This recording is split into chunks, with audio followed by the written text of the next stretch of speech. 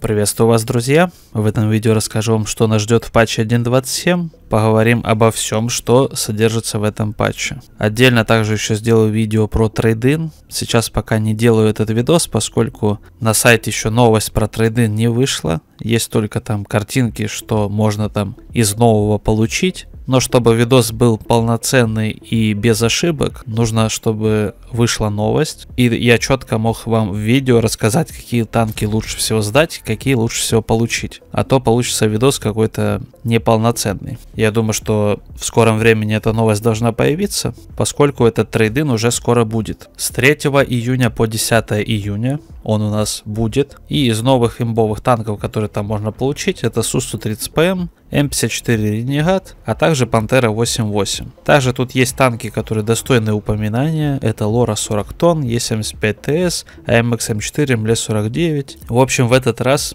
есть очень много хороших танков, которые там взять можно. Но также нужно дождаться официальной новости, чтобы понять, какие танки лучше всего сдать. Вдруг там что поменяли, какие-то танки, может, убрали, какие-то танки, может быть, сделали за 50%, какие-то за 100, какие-то за 70. И тогда я сделаю полноценный видосик. Теперь расскажу, что нас новое ждет в патче 1.27. Ну, первое, наверное, самое интересное, это ранний доступ. Нарыл я тут информацию неофициальную, что ранний доступ с 12 июня по 11 сентября. То есть получается у нас, что ранний доступ у нас до конца лета. Кто-то из зрителей был прав. Я думал до конца года будет. Но, видимо, до конца лета. Что в этом раннем доступе? Менюшка очень сильно похожа на сборочный цех. У нас есть этапы, в которых нужно выполнять задачки. Но задания выполняются по одному по очереди, а не как в сборочном цехе сразу весь этап. Каждая задачка по очереди по одной выполняется, и вы за нее получаете жетоны. На каждый танчик нужно определенное количество жетонов, чтобы его получить. Также жетоны можно еще и докупить за какое-то там количество золота, насколько я понял. Также, когда пройдете эти этапы, открываются специальные задачи. Они выполняются в случайных боях и в натиске. Дополнительный этап открывается с получением машины 8 уровня из ветки раннего доступа. Ветка пока что в раннем доступе у нас доступна с 7 уровень, 8 и 9. Десятки там нет. Я на тесте выполнил задачки, докупил за золото и смог доползти до восьмерки. Покатался на восьмерке, что я хочу сказать? Это бронированный танк, тяжелый, с большим дырявым НЛД, но в остальных местах, в принципе, броня какая-никакая есть. Очень длинный, неповоротливый танк. Вперед едет более-менее нормально, но вот динамика и маневренность, конечно, такая себе. Где-то в позиционке от башни постоять нормально. Пушка вниз опускается на 10 градусов, отлично. Пушка у нас барабанная на 2 снаряда. Перезаряжается там 30 с хвостиком секунд. Два снаряда с альфой 800 на фугасе. Между выстрелами перезарядка 3 секунды у всей ветки. Пробитие ББшкой с альфой 600 у нас 220 там с чем-то. Пробитие фугасом 180, кажется. Примерно такие цифры. Суть в чем? В том, что бумажным танкам пробитие 180 на фугасе будет более чем достаточно. Альфа 800, еще и барабан, говорит нам о том, что мы любой бумажный танк 8 уровня можем убить за барабан, а если сильно повезет, то за один выстрел либо с поджогом, либо с альфой большой, если ВБР будет на нашей стороне. Даже тяжелый танк можно убить с одного барабана, если мы два раза подряд пробьем фугасом. 2 по 800, 1600, у многих танков тяжелых 8 уровня примерно 1500 хп. В итоге за 3 секунды мы можем убить одноклассника, если ВБР даст пробитие, если ВБР пошлет снаряд нормально. Это абсолютно токсичные ВБРные танки, которые понравятся, грубо говоря, танкистам, которые не заморачиваются, играют как попало, выехали, куда-то там бах-бах и готово. Потом уходят на долгую перезарядку, либо выживают, либо умирают. В общем, эти танки, скорее всего, сильно ускорят бои, поскольку либо они с барабана могут прям забрать кого-то, либо могут ошибиться, или игра не даст им нормальную стрельбу, уйдут на долгую перезарядку, на которой их подловят и убьют. В общем и целом, я абсолютно против такой концепции танков. Мне не нравятся фугасные токсичные танки, еще и с такими барабанами, которые убивают за 3 секунды одноклассников. Это абсолютно ужасно. Даже если заряжать не фугасы, а ББшки, пробитие неплохое на ББшке. И альфа 600. Между выстрелами 3 секунды, 2 по 600, 1200. Мы все равно танк одноклассник с маленьким количеством хп можем забрать. Натяжа, конечно, уже не хватит, но пушки очень кривые и ВБР зависимые. Повезет, не повезет. Я абсолютно против таких танков, поскольку я стараюсь играть на результат, стабильно и влиять на каждый бой. Такие танки, наоборот, делают бои непредсказуемыми, неадекватными. Очень все зависит у них в стрельбе от ВБР. На них легко ошибиться. И также иногда можно просто с барабана забрать танк. Причем просто случайно, если враги подставляются, мы просто два свертухи даем. Если оно залетело, танка нет, не залетело, мы уходим на долгое КД и нас могут задавить легко. Абсолютно дурацкая концепция танка. Мне не нравится вообще. В принципе, по самой задумке раннего доступа. Идея неплохая, чтобы за задание получить танки и не тратить на них свободки, время, на прокачку ветки, на выведение танк в топ, на то, чтобы серебро тратить на покупку этих танков, это прикольно. Но когда ты получаешь танк, он все равно в стоковом состоянии. То есть за жетоны я взял сразу восьмерку, пропустил семерку. В ветке мне бы пришлось выкачать семерку, потом семерку вывести в топ, потом прокачать восьмерку. А так получилось пропустить этот момент, взять сразу восьмерку. Причем, когда у тебя жетонов на танк хватает, танк у тебя сразу появляется в ангаре. Не надо ничего там делать. То есть ты просто выполняешь задачки, жетоны тебе добавляются, и танки сами автоматически появляются в ангаре. Не надо ничего делать вообще абсолютно. Не покупать, не тратить. Задумка неплохая, но в целом я не понимаю концепцию раннего доступа, она тут для чего. Такое ощущение, что не совсем название отображает суть, поскольку ветки уже готовы, танки готовы, нарисованы,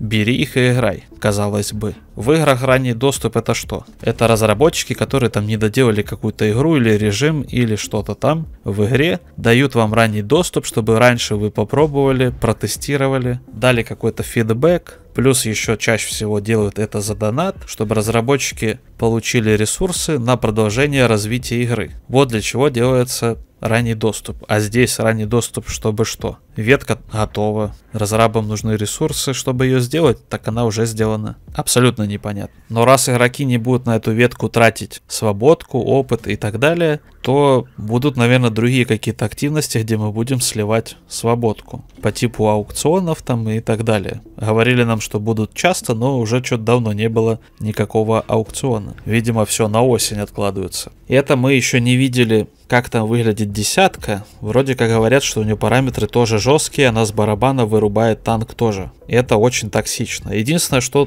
у этих танков нет какой-то так называемой голды, специальных снарядов, которые имеют высокое пробитие и там, допустим, тяжей пробивают в лоб куда-нибудь в уязвимые зоны. Тут есть один снаряд, это фугас, у которого не такое же большое пробитие, но в уязвимые зоны хватает. И есть еще ББшка, у которой примерно обычное пробитие, как на уровне у одноклассников. Но прикол в том, что у нас большая альфа даже на ББшке, так еще и барабан, который даже ББшками забирает танк, у которого на уровне мало хп. Какая-нибудь бумажная ПТшка, допустим. Если бы в этом раннем доступе была бы нормальная, адекватная ветка, простая, интересная, но не вот такая токсичная, я бы был бы абсолютно за. Задумка неплохая, что-то в ней есть, но реализация, как обычно, вот такая, ужасная, на мой личный взгляд. Плюс еще, что я заметил, у семерки абсолютно слабая броня, 220 пробития ББшкой на восьмом уровне, хватает за глаза, чтобы пробивать семерку тупо в лоб, поэтому это такое себе. Ну а на девятке я не смог поиграть, поскольку следующие этапы, где выполняются задания и можно получить жетоны, еще закрыты, а золото 100 тысяч я потратил, чтобы дойти до восьмерки. Сколько будет стоить на релизе прохождение этих заданий, я пока еще не знаю, посмотрим. Но пока что это событие мне не нравится. Следующее, что нас ждет в патче 1.27, это подписка. Платная подписка, которая, я так понял, будет стоить 299 рублей. Что в нее будет входить. Эксклюзивный танк, объект 752. Броня у него такая специфическая, НЛД тоненькая, ВЛД круглая и очень сильно зависит от того, куда вы танк будете наклонять. Если вы вперед его наклоните, ВЛД будет легко пробиваться, если поднимете, то тяжелее. Плюс еще очень бронированные борта с экранами, но там есть в передних катках какие-то дыры, поэтому тоже повезет не повезет. Также большие дырявые лючки, которые можно прятать, поднимая пушку. Но когда вы поднимаете пушку, то сильнее видно вокруг возле маски каемки на башне, которые пробиваются. Я на нем чуть-чуть что-то сыграл, особо ничего не понял. Вроде у него был барабан, когда он тестировался, сейчас барабана нет. Кривоватая пушка, такой вот какой-то прям танк 9 уровня. В общем, на релизе я возьму этот танчик за подписку, покатаю и сделаю полноценный обзор. На тесте там даже на 9 уровень тяжело попасть, в очереди людей почти нет. Долго ждешь, потом собирается бой там 5 на 5, играешь какую-то чепуху, невозможно вообще понять, что это за танк. Также в этой еще платной подписке хранилище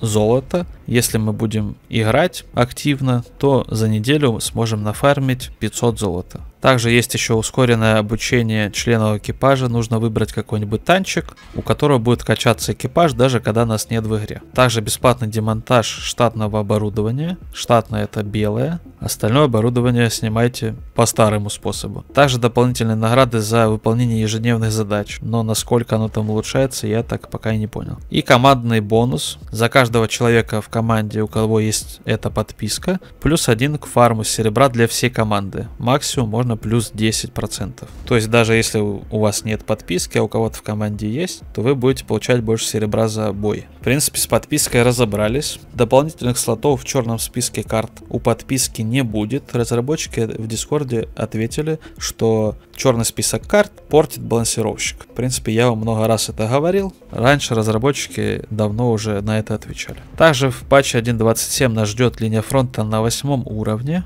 Натиск Каменный Волк, у которого будет боновый магазин. Про боновый магазин я уже делал отдельное видео, можете посмотреть на канале. Очередной запуск Стального Охотника без изменений. Также нас ждет летний ангар, который похож на весенний, только летний.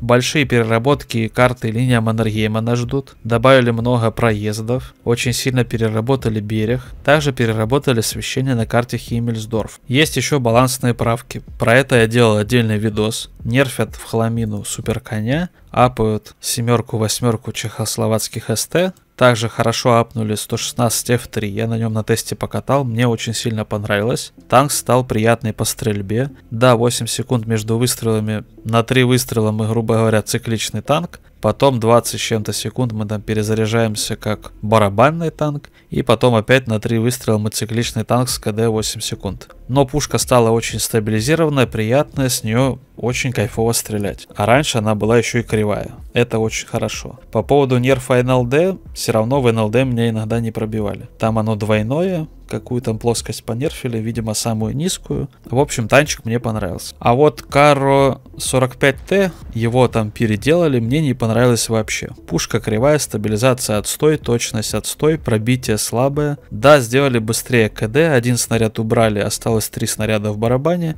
Танк абсолютно конченый. Я на нем как не играл, так и не буду играть. Танк фигня полная. Да, быстрее стреляет, но криво и пробития нет. Также добавили три новых танка каких-то. Йох 8 уровня, американский, понятное дело. Также две ПТшки 9 уровня, ТС-60 и ФВ-205Б аллигатор. У нас в игре очень мало акционных и премиумных ПТшек. Вот еще две сделали. А то у нас в игре очень мало ПТ каждый бой. Видим, разработчики стараются изо всех сил каждый патч зафигачивать еще целую тонну ПТшек. А то, не дай бог, количество ПТ просядет. Молодцы разработчики, работают прям не покладая рук. Также еще в патче 1.27 нас ждет пару новых 2D стилей. Вот, в принципе, весь патч, который будет у нас. Все, что будет в патче 1.27. Я доволен апом китайского тяжа за глобальную карту 116 F3. В принципе, больше ничего интересного лично для меня нет вообще. Событие танки в раннем доступе абсолютно провальное, портящее очень сильно игру. Грубо говоря, оно может зайти целевой аудитории, которая там играет на 45%, не вдаваясь в подробности, им лишь бы фугасиками в силуэт куда-то бахнуть, чтобы игра за них решила пан или пропал. Мне же абсолютно это не нужно. Для меня лично это большой минус для игры. Подписка практически неинтересная, ничего полезного в ней для меня лично нет. Танчик я вам покажу, и больше, наверное, подпиской пользоваться не буду. И есть подозрение, что танчик мне тоже особо-то и не нужен такой. Думаю, что ВЗ-114 китайский прем 9 уровня в тысячу раз поинтереснее, а этот такое. Ну, я пока на нем достаточное количество боев не провел нормальных в рандоме. Пока что хоронить его заранее не будем, но яму я уже под него подготовил. Натиск как натиск, линия фронта опять на восьмерках. Мы это уже видели. В принципе, все, вот весь патч. Осталось только еще поговорить про трейдин и все. В конце еще добавлю то, что неизвестно какой сложности будут задания